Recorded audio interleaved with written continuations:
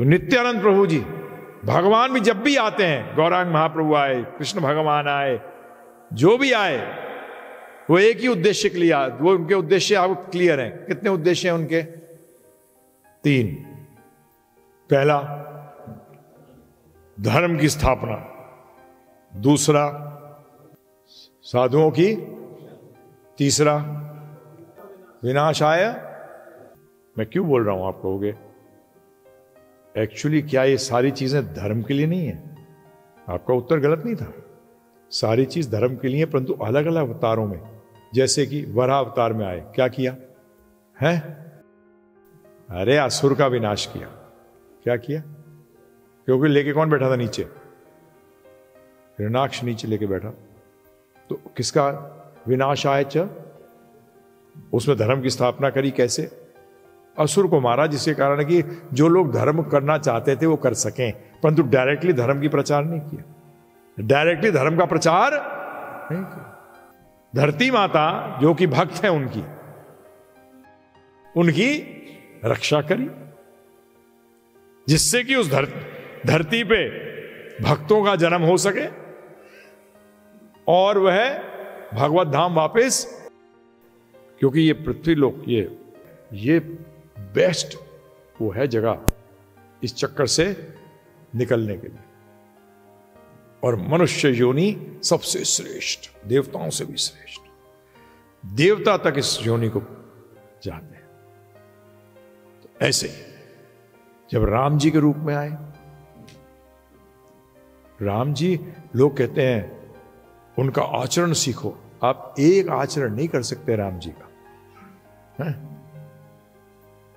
एक आचरण नहीं कर सकते कर सकते हो। बताओ इतना बड़ा साम्राज्य छोड़ सकते हो?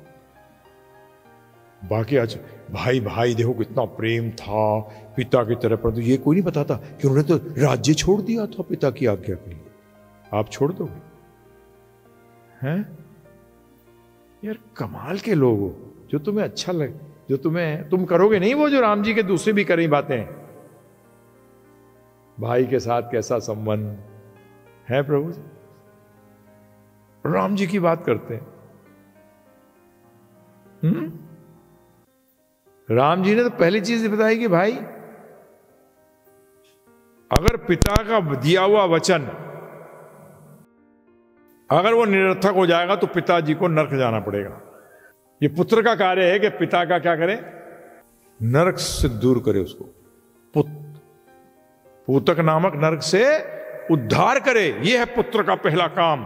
तो वो जानते थे अगर मेरे पिता ने जो मेरी माँ को वचन दिया उसको अगर मैं नहीं करता पूरा पिताजी अपने वचन पे फिर रहे थे। परंतु उन्होंने अपने पिताजी के वचन को रखने के लिए क्या किया? चले जाओगे? वनवास। कौन है आप में से? जरा बताना प्रभु जी। तो उस लीला में भी, क्योंकि भगवान की तो हर लीला ही परफेक्ट होती है। परंतु कई लीलाओं के अंदर वो कुछ चीज़ उजागर करते हैं और कई लीलाओं में कुछ चीज़ उजागर करते हैं। अगर नहीं निकलते वहाँ से तो इन भक्तों का उद्धार कैसे होता? है? अहिल्या।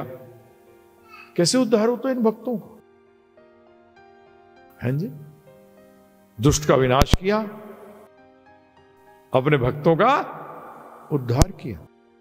और बताया कि पिताजी अगर माने या ना माने, तब भी तुम अपना कार्य करो। कभी सोचा इस विचारधारा से। पिताजी ने कहा, नहीं नहीं मत जा तू। नहीं नहीं, आपने वचन दे रखा है। तो आप कहोगे इसको आप हमारे साथ कैसे लगा रहे हो? पुत्र का कार्य क्या है कि अपने माता पिता को जन्म मृत्यु के चक्कर से निकाले? है ना? पुत्र का कार्य तो ये है। आपने राम जी से क्या सीखोगे? राम जी से ये सीखोगे कि पिताजी कुछ भी कहे माता जी कुछ भी कहे, क्योंकि वो कम बुद्धि के हैं, जानते नहीं, नरक जाने की गति हो रही है। मैं तो इनको तार के ही रहूँगा, चौदह साल का वनवास ले रहा हूँ। सही है, गलत है, बताओ, मैं जो बोल रहा हूँ।